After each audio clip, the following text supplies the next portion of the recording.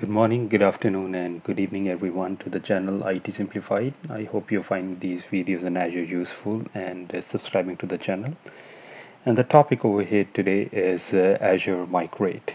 So, in general, today I'm going to talk about uh, what this allow you to do, and uh, we'll see some of the steps which are involved because I don't have an environment with me to go through end to end, but just give you an idea about uh, what are the steps or some of the things that you need to keep in mind when you utilize this tool. Okay, so let's start. So Azure Migrate uh, was long uh, due, I think.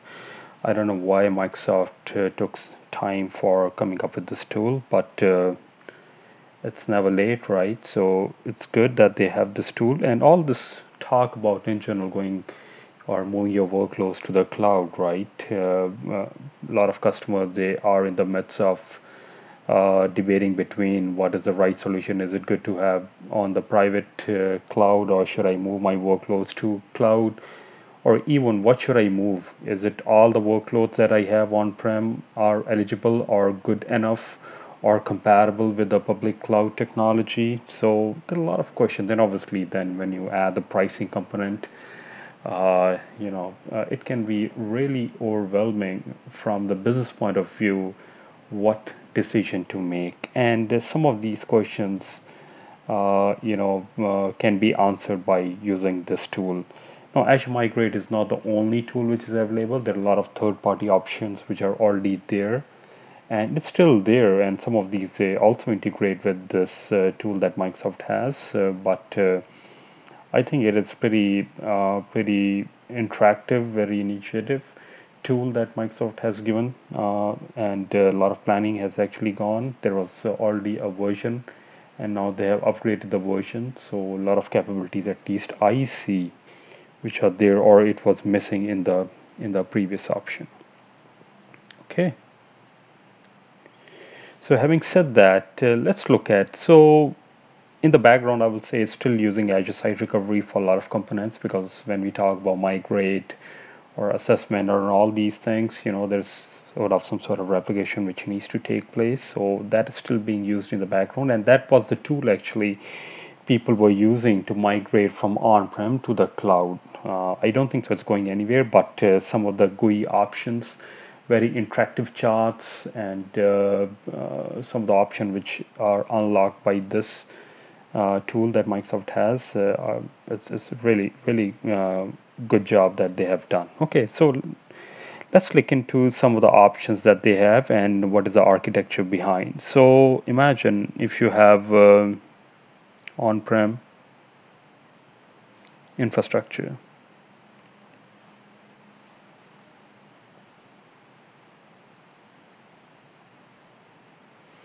If you have a VMware environment right? You can have multiple machines over here.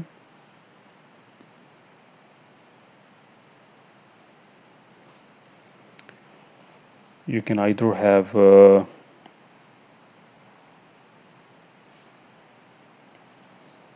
Hyper-V environment.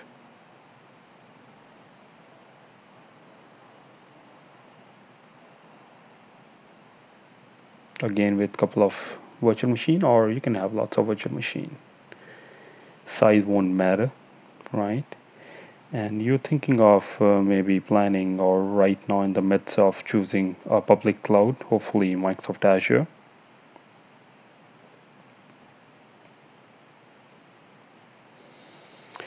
So what Azure Migrate will do is that it can assess your environment right? It will assess your environment. Actually it will discover your environment first it will assess it will give you the right size if you want. And then right from the console you can also migrate that too. So all these capabilities are there right now as we talk today about this uh, this product. Now from the from the deployment point of view what you need is when you go through this uh, uh, tool which I will show you in a moment you need to deploy uh, specifically when we talk about the VMware environment you need to deploy an OVA file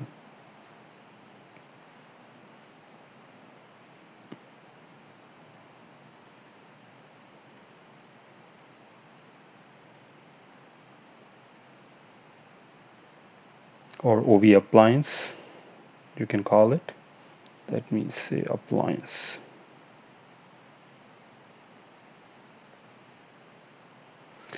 And if you talk about the Hyper-V environment uh, it's gonna be a VHD file. So you'd also need an appliance for that. So this will be the the engine behind. So you need these uh, in your environment and it will be running the last time I checked was on 2016 machine. And it will compile all the information. It will discover what you have in the environment. And uh, after the discovery is done it will assess the environment. Now from the assessment point of view you can choose you can choose to do a performance assessment or you can move as is.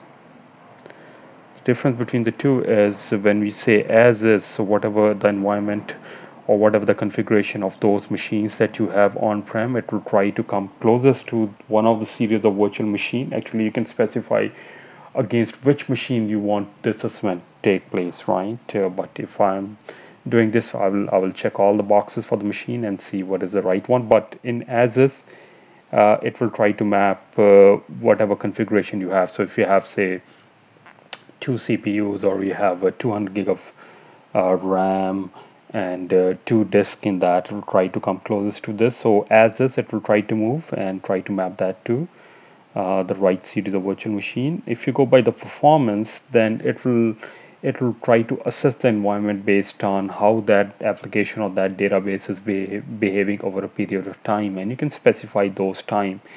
You can go 7 days 30 days. I think the max you can go is up to 180 days. Actually one more thing that you can use this tool for free of charge for 180 days. Right so you can use this for 180 days. No charge that's another thing. So you can specify and uh, based on that uh, it will it will recommend that for you whether that machine is compatible to be moved or not. It will tell you that too. And if it is then what is the right size based on that? So most of the time I think people they go with the performance if they want to uh, want to make sure that uh, from the pricing perspective which will be the right size right? So that that's the thing. So one thing is yes you need an appliance that needs to be deployed compatible both Hyper-V as well as VMware environment. And then you can assess you can do the assessment based on performance or you can go as is. It will map the same way what you have or come closest to the uh, to the environment that you have. So this is what Azure Migrate in general will do that for you. But uh, I think some of these capabilities were not there before. And the tools even which are there some of them they are good. I've not used all of them but uh, you know because this is Microsoft native tool I think this can come closest to what will be the right size a machine because in the end of the day it's all about pricing right? How much you're going to pay at the end of the month. And also if you have on-prem say if you have uh, on-prem uh, uh, software assurance SA you can use something what you call hybrid benefit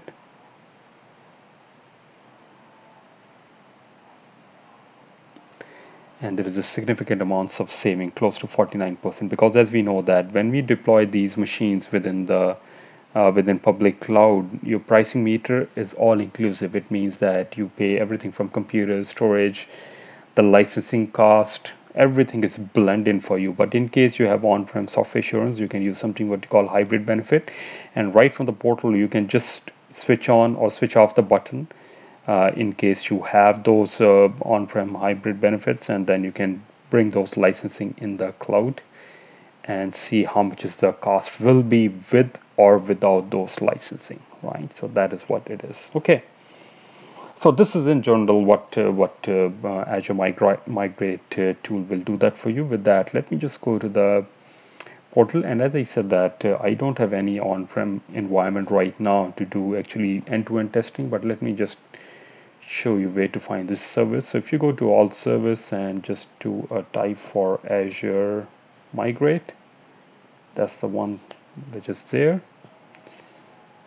Let me go inside and then you can see you can have the migration tool for server you have migration tool for databases you have a data box which is very similar to the snowball of uh, AWS right and uh, if you have already used uh, some of the other tools within Azure such as data migration assistant it also integrates with Azure Migrate. And I'm talking specifically about databases in that case right?